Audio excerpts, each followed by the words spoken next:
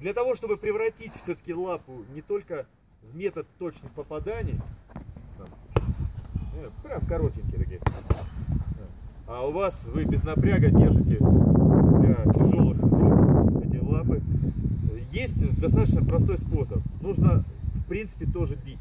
И бить даже, исполняя одиночную, мы используем опять сейчас встречную работу лап, бить, используя бедро. То есть ни в коем случае не должно быть, поговорим сначала о «не», не должно быть от, отставания, то есть он видит ваше бедро, потом бьет запоздалую руку. То есть здесь и тело расслабленное, и работают в основном ноги. И в принципе, когда мы перейдем к двойкам, к тройкам, это будет еще более понятно. Одиночная рука, вот отсюда я встаю и монотонная работа, монотонная. Бедро, видите? И моментальное расслабление, то есть я кручу, и моментально расслабляю.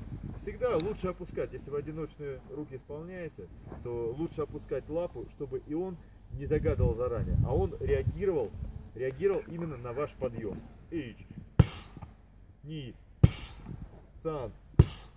К этому же вопросу о простоте и в данный момент вы являетесь инструктором. Тот, кто держит лапы, он в свою очередь инструктор.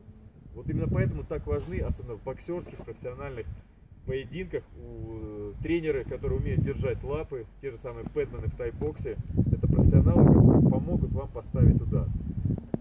Как только вы измените угол лапы, в принципе его удар уже будет не тот, который нужен. Вам нужно каждый угол выставлять. Если он бьет немножко сбоку, сюда, можно так работать. Чтобы поставить удар непосредственно в центр, в область ключицы, плеч, и лапу нужно держать. Смотрите, не отсюда, например, я стою, мне удобно так стать комфортно, но он-то бьет в какое место? Как бы в свою ключицу напротив. Либо он должен развернуться, и вы должны абстрагироваться, и держать напротив ключицы, которую он будет атаковать. То есть вы являетесь мешком, который указывает точки. То есть вы отсюда стоите, если нужно чуть-чуть сверху, лапа идет отсюда. Если нужно ударить немножко под ребро, сюда. Достаточно простая работа, но к ней нужно привыкнуть и адаптироваться. И постоянно работают бедра. Вот. вот.